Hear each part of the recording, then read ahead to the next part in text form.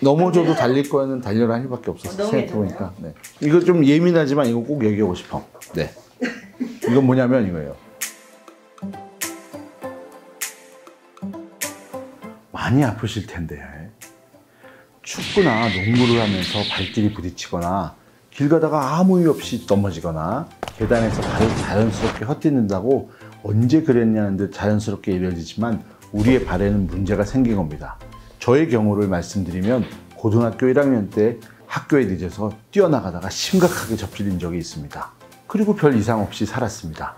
하지만 12년이 지나서 군의관 훈련을 받을 때 30km 행군을 하면서 온 몸이 멀쩡했지만 유일하게 접질렸던 그 발목만 다시 아팠습니다.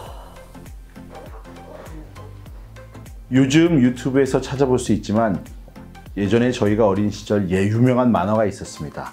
달려라 한이었죠. 넘어져도 외로워도 슬퍼도 다시 일어나라고 달렸지만 지금 그렇게 했다간 큰일 나십니다.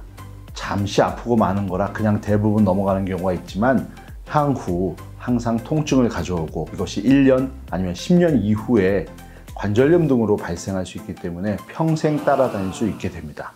그렇다면 어떤 이유로 이런 병들이 발생하게 되는 걸까요? 바로 여러분께서 별거 아닌 것처럼 넘어갔던 인대의 파열, 즉 발목 염좌와 미세한 골절로 인해서 이러한 병들이 진행하게 됩니다. 이 두 질환은 피멍도 들고 가만히 둬도 아프고 부어오르고 여러 가지 증상이 생깁니다. 염좌는 관절이 불안정해지고 뼈끼리 서로 부딪히게 되어 연골을 닳게 하기 때문에 결국 발목 관절염이 생길 수 있습니다. 우리가 무릎이나 고관절과는 다르게 발목 관절염의 주요한 원인은 대부분 염좌를 대수롭지 않게 여기고 지내시던 분들에게서 흔하게 발생합니다.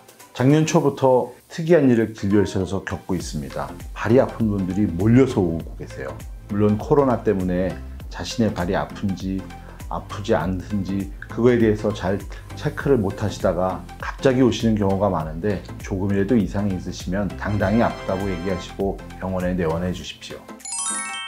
자신의 발이 자주 접질린다고 해서 단순히 한의원에서 침을 맞는다거나 하는 것이 잘못된 것은 아닙니다. 그러나 침 치료에도 반응하지 않는 통증은 분명히 연골과 인대에 문제가 있기 때문에 더 이상 걱정하지 마시고 병원을 찾아주시는 것이 합리적인 선택이라고 볼 수 있습니다.